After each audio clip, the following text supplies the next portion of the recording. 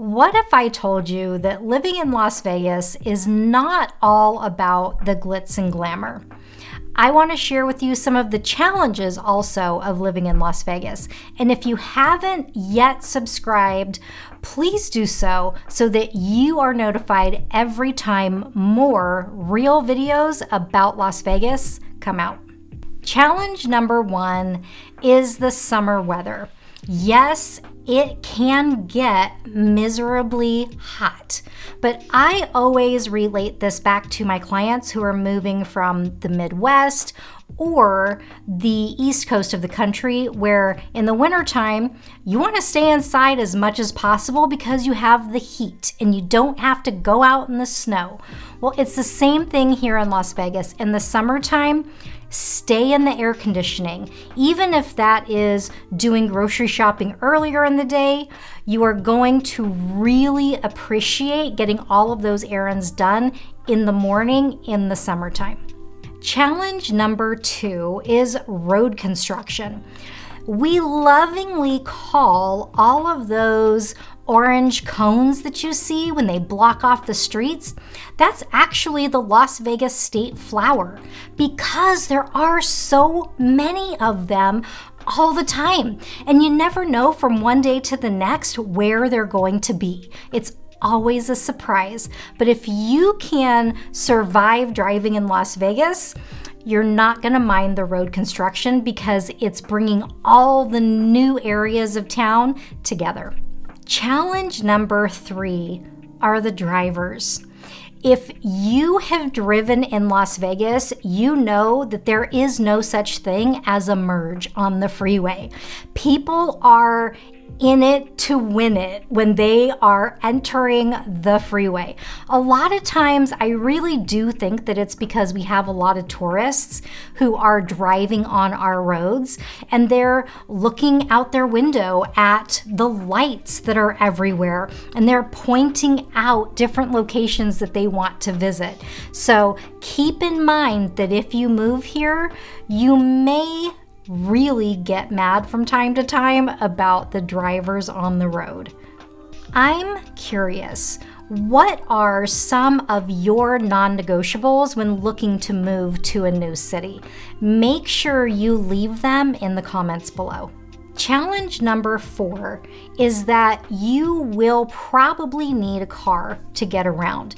If you're coming from somewhere where there is a lot of public transportation, you are not going to find that we have the best public transportation here in Las Vegas. So if you are looking for a place that's a little bit more walkable, you're going to be restricted to only a few areas of town. But if you're fine with having a car and driving around the city, you can generally get anywhere in Las Vegas in about 30 minutes. Challenge number five we have quite a few planting restrictions, and that is in your home backyard or front yard. So, right now, the only type of landscaping in a new construction home that you can have is desert landscaping and the water district will actually pay you to take out your real grass and convert that also to desert landscaping. But if you try to change it back because you change your mind, then you will owe them whatever that money is that they gave you. So make sure whatever you're going to plant here that you know that you actually have permission to do so. If you're new to my channel, my name is Eileen Guilbeault. I am your local Las Vegas real estate advisor specializing in helping people relocate to our fabulous city. Please make sure that you subscribe so that you get updates every time we upload a new video. Number six is watering restrictions. We are leading the way in water conservation on the West Coast we are really proud to say that we have done a fantastic job. And by we, I mean everyone in this city. We have cut down on how much we can water our yards and our plants, the size of the pools that you can build, that is also restricted as of now because we want to make sure that the water that we have available to us is here for decades to come. Challenge number seven is public schools.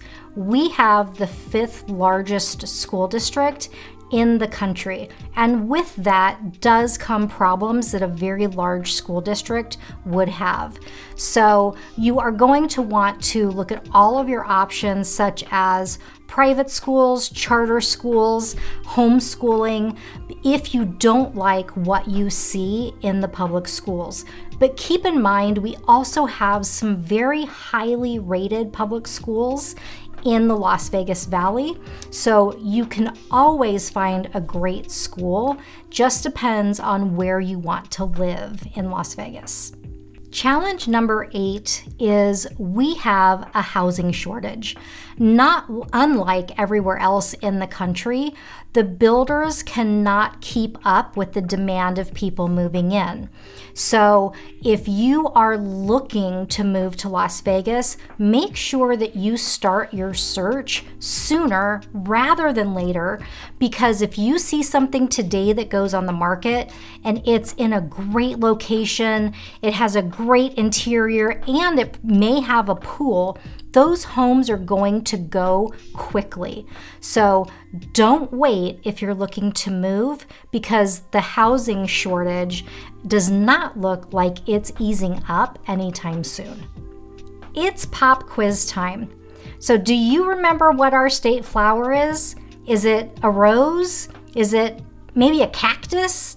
Is it a hibiscus? Or do you think it's the orange construction cones? Leave me your best guess in the comments below. Challenge number nine is our car insurance rates. They are higher than many areas of the country.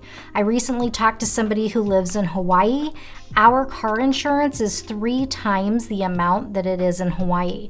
And why that is, I'm assuming that a lot of it does have to do with the tourists and with the transient nature of people moving in and out of Las Vegas. So, no state income tax, but you are going to pay more for some things, like your car insurance. Challenge number 10 is the wind. And yes, we can get some tree branches knocked down. It might even mess up your yard a little bit. But if you're coming from areas where you're looking at hurricanes and tornadoes and all of these natural disasters that actually cause people to lose their lives. We don't have that here, so I'll take a little wind anytime. For more videos about relocating to Las Vegas and real estate tips, make sure to watch one of the videos on the screen. Thank you for watching, and I'll see you the next time.